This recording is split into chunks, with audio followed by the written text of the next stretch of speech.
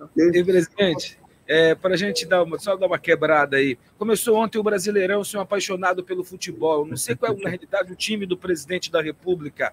Quem ganha o Brasileirão desse ano e qual a sua expectativa para a Copa do Mundo? O senhor que é brother do Neymar, Neymar aí está voltando a jogar uma bola legal, o Tite se despede da seleção após a Copa. Fala de futebol aí, presidente. Vamos lá, eu tenho. O meu nome é Jair, graças ao Jair Rosa Pinto, né? Meia esquerda do Palmeiras da seleção. Então, sou palmeirense de coração. Começamos mal, perdendo 3 a 2 para o Ceará. Um excelente jogo por parte do Ceará. E, que sirva de alerta. E o meu segundo time do coração é o Botafogo, que apoiou do arquirrival do Palmeiras, né, que é o Corinthians, é, de São Paulo. Então, o campeonato começou muito bem para o Atlético Mineiro, que ganhou do Internacional. Então, é o pequeno retrato 3x4, que pode ser é, o Campeonato Brasileiro do corrente ano. Parece que o Palmeiras vai priorizar novamente a Libertadores, né? É, com toda certeza, temos tudo para ser tricampeões da Libertadores. Começamos bem também o São Paulo com a primeira copinha lá em São Paulo.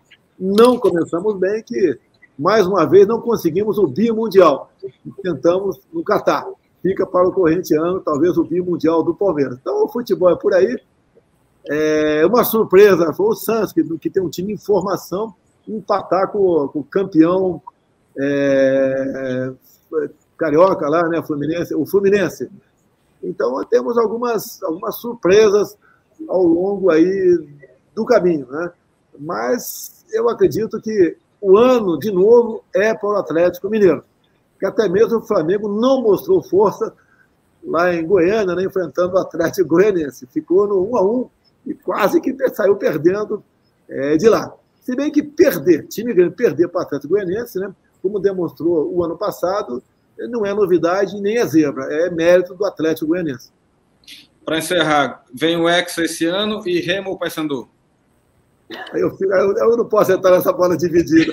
Quando, quando eu estava em campanha, né, em 2018, num carro de som lá em Porto Alegre, é, me jogaram duas camisas, Grêmio e Inter. E olha, olha a confusão. Felizmente, alguém me jogou uma outra camisa e falou: aqui no Rio Grande do Sul eu sou Brasil de Pelotas. E resolvi o problema. Não arranjei encrenca com nenhuma das duas grandes torcidas. E aí também. Também não vou arranjar encrenca com nenhuma das duas torcidas aí em Belém do Pará. Brasileira. A questão vai ser tu na luz brasileira, que é a portuguesa aí de São Paulo. Pronto, tá resolvido. Por sinal, a Luzinha. O nosso, nosso,